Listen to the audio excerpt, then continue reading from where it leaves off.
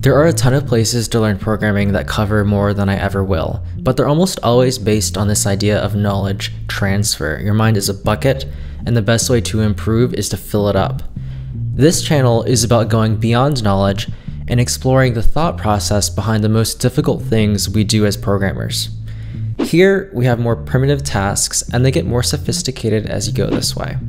For example, you may need to recall what the syntax is for a language feature from school, we're all familiar with plug and chug math, where we solve the same problem 100 times with the numbers changed. And when you need to do a specific task, you might copy and paste something from Google.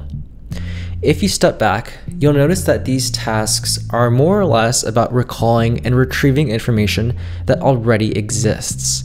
And then on this side, it's less straightforward, more creative, more nuanced.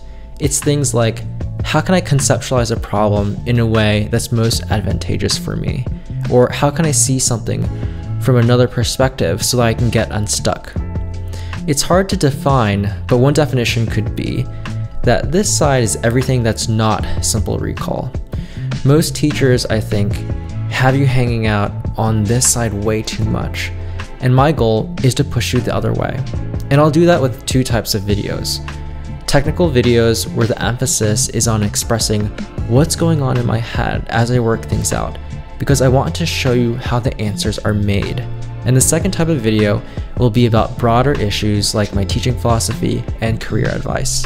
So like, subscribe, and if you'd like to see me make a video about something specific, let me know in the comments below.